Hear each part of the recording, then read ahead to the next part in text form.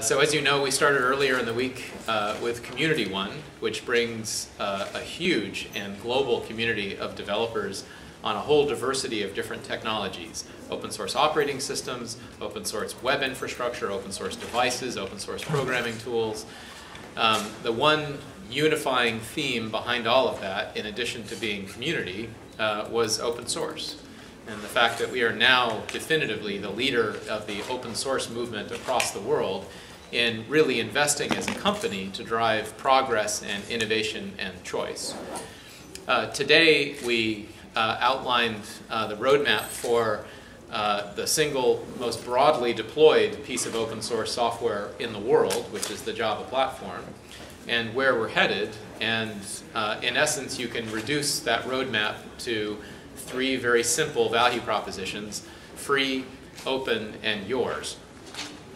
Yours in terms of you have the capability as a, as a developer to create any device you want, and that you own the data that comes off those devices. Um, that the uh, technology is going to be instrumented through something called Project Insight to enable content owners and content developers to understand user behavior and to build businesses around that as they see fit. That's not Sun's job, that's the developer's job. So our business, which we reported last week, um, is uh, definitely in the midst of transition. Um, we're seeing very aggressive growth rates uh, outside of the United States. A few highlights for that growth.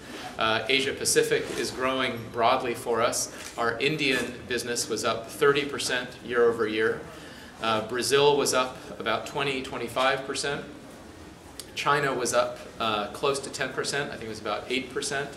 Uh, our Russian business was up, our Canadian business was up. Across Latin America, we had good growth. The U.S. is definitely uh, uh, uh, a tougher territory for us. We were down 10% uh, year over year in the U.S. and definitely saw some effect from the concerns in the financial markets, and that had an impact on our consumers. Um, but we are going to continue building out the business as we've architected it, which is to discover all of the world's developers, no matter how old they are or where they live or what their interests might be, or on what devices they expect to be deploying their content.